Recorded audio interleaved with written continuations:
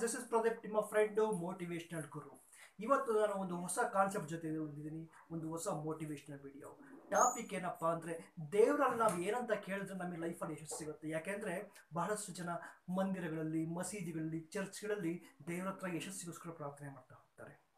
ನಾವು ಗಮನಿಸ್ತಾ ಹೋದರೆ, ನಾವೆಲ್ಲ ಏನೆಲ್ಲ ಪ್ರಾರ್ಥನೆ ಮಾಡ್ತಾರೆ ಜನಗಳು ಅಂತ ಅಭ್ಯಾಸ ನೋಡ್ತಾ ಹೋದರೆ, ಕೆಲವರು ಹೇಳ್ತಾರೆ, ನನ್ನ ಜೀವನದಲ್ಲಿ ಸಕ್ಸಸ್ ಕೊಡು. ನನ್ನ ಜಾಬ್ದಲ್ಲಿ ಸಕ್ಸಸ್ ಕೊಡು. ನನ್ನ ವಿದ್ಯಾಭ್ಯಾಸದಲ್ಲಿ ನನಗೆ ಸಕ್ಸಸ್ ಕೊಡು. ನನಗೆ ಉತ್ತಮವಾದ ಆರೋಗ್ಯ ಕೊಡು. ನನಗೆ ಲಕ್ಷ್ಮಿ ಬರ್ತಾ ಇರಲಿ, ಅಂದರೆ ಹಣ ಬರ್ತಾ ಇರಲಿ, ಆದರೆ ಹೋಗಬಾರ್ದು. ಈ ರೀತಿ ಡಿಫ್ರೆಂಟ್ ಡಿಫ್ರೆಂಟ್ ಆದಂತಹ ಬೇಡಿಕೆಗಳನ್ನ ದೇವ್ರ ಮುಂದೆ ಇಡ್ತಾನೆ ಇರ್ತಾರೆ. ಒಟ್ಟಿನಲ್ಲಿ ಅವ್ರಿಗೆ ಎಲ್ಲದರಲ್ಲೂ ಸಕ್ಸಸ್ ಬೇಕು. ಅದ್ರ ಜೊತೆಗೆ ಒಂದು ಸ್ಪೆಷಲ್ ಕಂಡೀಷನ್ ಹಾಕ್ತಾರೆ, ಏನಪ್ಪ ಅಂದರೆ ನನಗೆ ಯಾವುದೇ ರೀತಿಯ ಕಷ್ಟಗಳನ್ನ ಕೊಡಬೇಡ ಅಂತ.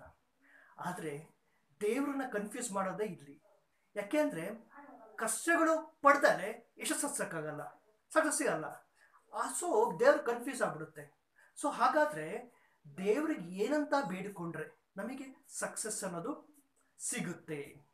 ಈಗ ಇನ್ ಕೇಸ್ ನಾವು ಜಾಬಲ್ಲಿ ಸಕ್ಸಸ್ ಬೇಕು ಅಂತ ಕೊಂಡ್ಕೊತೀವಿ ಆದರೆ ಜಾಬಲ್ಲಿ ಹಂಡ್ರೆಡ್ ಪರ್ಸೆಂಟ್ ಎಫರ್ಟ್ ಆಗ್ತದೆ. ಸ್ಯಾಕ್ಲು ಸ್ಯಾಫ್ ಸ್ಯಾಕ್ರಿಫೈಸ್ ಮಾಡ್ದಲೆ ಹೇಗೆ ನಮಗೆ ಯಶಸ್ಸು ಸಿಗುತ್ತೆ? ನಾವು ಹಂಡ್ರೆಡ್ ಪರ್ಸೆಂಟ್ ಎಫರ್ಟ್ ಹಾಕಿ ನಾವು ಕೆಲವು ಸ್ಯಾಕ್ರಿಫೈಸ್ ಮಾಡಿದಾಗ ನಮಗೆ ಖಂಡಿತ ಯಶಸ್ಸು ಸಿಗುತ್ತೆ. ನಮಗೆ ವಿದ್ಯಾಭ್ಯಾಸದಲ್ಲಿ ಯಶಸ್ಸು ಬೇಕು ಅಂತೀವಿ. ದೇವ್ರ ಮುಂದೆ ಹೋಗಿ ಕುತ್ಕೊಂಡ್ಬಿಟ್ರೆ ಯಶಸ್ಸು ಸಿಗಲ್ಲ.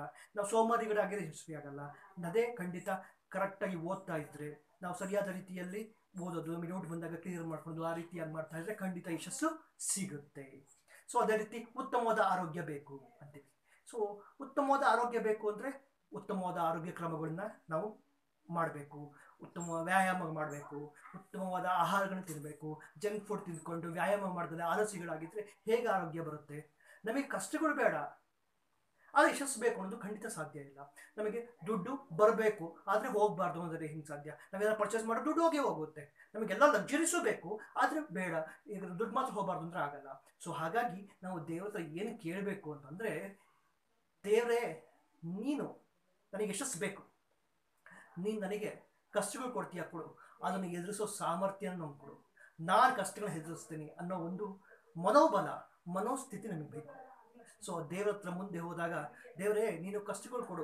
ನಾವು ಕೇಳಲಿ ಬಿಡಲಿ ಕಷ್ಟಗಳು ಬಂದೇ ಬರುತ್ತೆ ನಮ್ಮ ಜೀವನದಲ್ಲಿ. ಅನ್ನೋ ದಾರಿಯಲ್ಲಿ ಕಷ್ಟಗಳು ಬಂದೇ ಬರುತ್ತೆ. ಆದರೆ, ನಾವು ಕಷ್ಟಗಳು ಎದುರಿಸೋ ಮನಸ್ಥಿತಿಗೆ ತಲುಪಿದ್ರೆ ಕಷ್ಟಗಳು ಎದುರಿಸೋ ಸಾಮರ್ಥ್ಯ ನಾವು ಬೆಳೆಸ್ಕೊಂಡ್ರೆ, ಖಂಡಿತ ಆ ಕಷ್ಟಗಳನ್ನೆಲ್ಲ ಮೀರಿ ನಾವು ಸಕ್ಸಸ್ ಅನ್ನೋದನ್ನ ಪಡಿತೀವಿ ಅಂತ ನಾನು ಹೇಳ್ತೇನೆ. ಸೊ ಹಾಗಾಗಿ ದೇವ್ರ ಹತ್ರ ಮುಂದೆ ಕಷ್ಟಗಳನ್ನು ಕೊಡಬೇಡ ಅಂತ ಕೇಳಬೇಡಿ.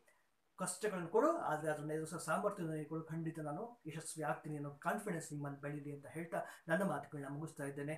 ನಿಮಗೆ ಈ ಒಂದು ವಿಡಿಯೋ ಇಷ್ಟ ಆದರೆ ನಿಮ್ಮ ಪ್ರೀತಿ ಪಾತ್ರಕ್ಕೆ ವಿಡಿಯೋನ ಶೇರ್ ಮಾಡಿ, ಮತ್ತು ಈ ವಿಡಿಯೋ ಇಷ್ಟ ಆದರೆ ಲೈಕ್ ಮಾಡಿ, ಮತ್ತು ನನ್ನ ಚಾನಲ್ನ ಸಬ್ಸ್ಕ್ರೈಬ್ ಮಾಡಿ. Thank you Jai